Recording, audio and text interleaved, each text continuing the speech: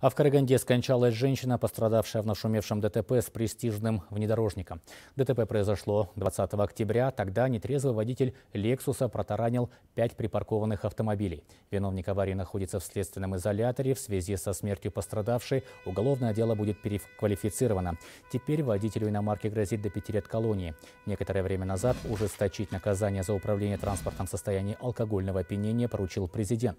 По данным МВД, с начала года на дорогах страны задержаны больше 20 тысяч нетрезвых водителей.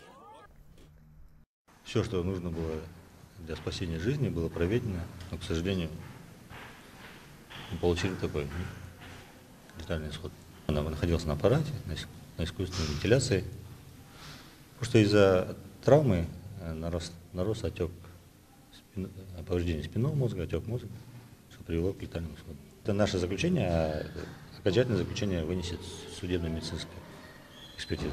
Уголовное дело переквалифицировано на статью 345 части 3 Уголовного кодекса, то есть нарушение правил дорожного движения, повлекшее смерть человека. Водитель автомашины «Лексус», допустивший нарушение правил дорожного движения в ходе досудебного расследования, также будет находиться под стражей.